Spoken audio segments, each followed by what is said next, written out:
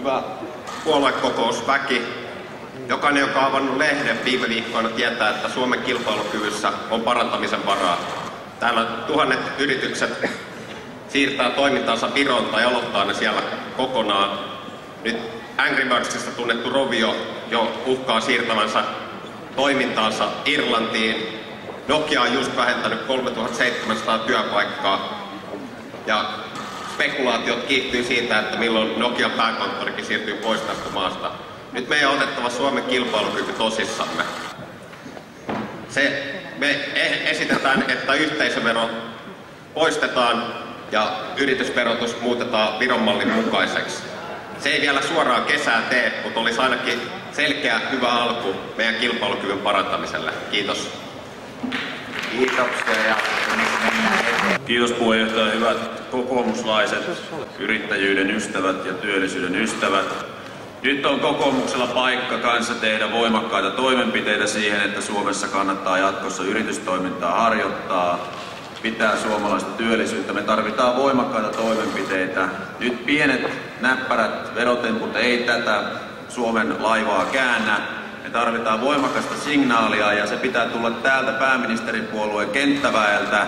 Ja nyt me toivotaankin, että täällä otetaan rohkea linja siihen, että yritysverotus muutetaan huomattavasti kannustavammaksi kuin tällä hetkellä. Ja, ja nimenomaan signaali siitä, että kokoomus lähtee tavoittelemaan tällaista nyt tässä mainittu Viron veromalli, mutta se ei tarvitse olla mikään Vironiminen, vaan se on ihan kannustava veromalli vaan, jota lähdetään tavoittelemaan. Ja tälle on jo laaja kannatus tuolla käytäväkeskusteluissa ja osoitetaan nyt vielä täällä, että ollaan yrittäjyyden suomalaisen työn ystäviä kaikki mekin.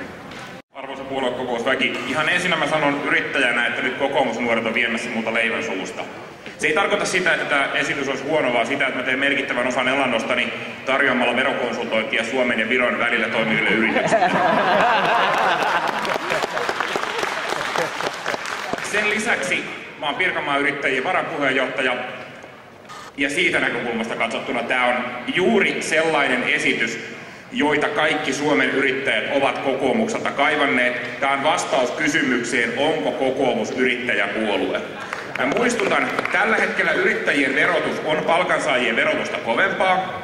Ja mä muistutan siitä, että tässä esityksessä ei pyydetä alentamaan yrittäjän tuloistaan maksamia veroja, vaan yritykseen sisään jätettävää rahaa. Sitä rahaa, jolla työllistetään, sitä rahaa, jolla palkataan muita ihmisiä lisää, sitä rahaa, jolla tuotetaan sitä kasvua, jolla tämä maa pelastuu.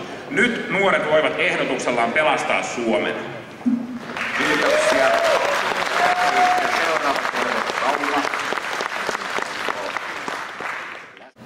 Arvoisa puoluekokous, myönnettäköön, että minullakin tässä nyt on vähän oma lehmä ojassa. Se on ihan hyvä lypsävä lehmä, pieni yritys. IT-yritys, pieni yritys, niin mä tarviin siihen neljää asiaa. Mä tarviin itteni, yrittäjä, sitten mä tarviin vähän pääomaa, sitten mä tarviin asiakkaita ja työntekijöitä. Kaikkein helpoiten näistä liikkuu pääomat ja sitten IT-yrittäjät. Kaikkein vaikeinta on saada asiakkaita ulkomailta. No, minun tilanne on se, että asiakkaat on Saksassa, työntekijät on Bangladesissa. Miettikääpä sitä, mitä Suomessa on jäljellä. Tämä on älyttömän hyvä aloite. Toivon, että tämä hyväksytään. Tämä on mitä me halutaan yrittäjät oikeasti. Kiitos. Kiitos ja Pilla ja Joo, arvoisa puheenjohtaja, hyvä puoluekokousväki. Kokoomuksen nuorten aloite on erittäin hyvä esimerkki siitä, mihin meidän pitää kokoomuksen puolueessakin pyrkiä, millaisiin toimenpiteisiin yrittäjyyden puolesta pitää lähteä. Me ei kaivata sitä yrittäjille. Oikeasti tavalliset yrittäjät ei kaipaa enää mitään resurssipohjaista tukea, vaan edellytyksiä. Ja tämän kaltaiset muutokset toimintaan on oikeasti, tämä on niin hyvä esimerkki siitä, mitä yritys, yrityksen tukeminen oikeasti on. Just tällaisella toimenpiteellä tuetaan oikeasti sitä yrittäjää. Kiitos. kiitoksia ja muutoksia.